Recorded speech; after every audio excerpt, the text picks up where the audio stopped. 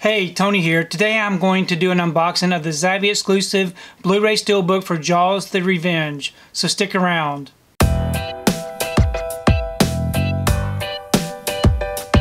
So today I received my copy of Jaws the Revenge. This is a Zavvi exclusive Blu-ray Steelbook.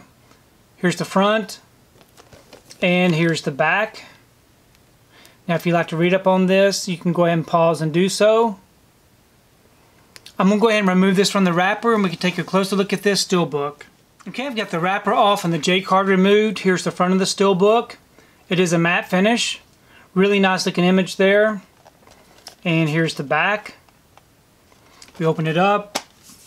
We got the front and the back together with the title going up the spine. And on the inside we do have our Blu-ray disc with some disc art which matches the cover. And we do have some inside artwork. Really nice looking image there. So overall, it's a really beautiful looking steelbook. So I've gone ahead and I placed this steelbook inside this protective bag. Now this bag will help keep the steelbook from getting scuffed up on the shelf up against my other steelbooks. I do have an affiliate link down below where I purchased these bags off of Amazon if you're interested in checking that out. I also wanted to take time just to show you the regular US Blu-ray release um, with a title on it. Very similar artwork. Um, so very nice to have this one on Steelbook.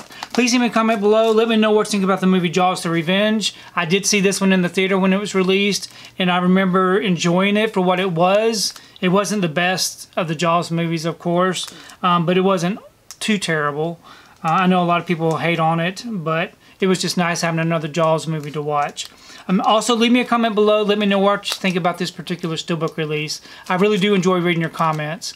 If you like what you saw here today, please give it a thumbs up and share the video. If you haven't subscribed to my channel, I'd really appreciate it if you would subscribe. If you do subscribe, please remember to hit that notification bell so that you can be notified every time I upload a new video. If you haven't found me on my social media accounts, I'm on Facebook, Twitter, Instagram, and on TikTok. And if you'd like to find out what I've been watching, you can find me over on Letterboxd. I do have links below.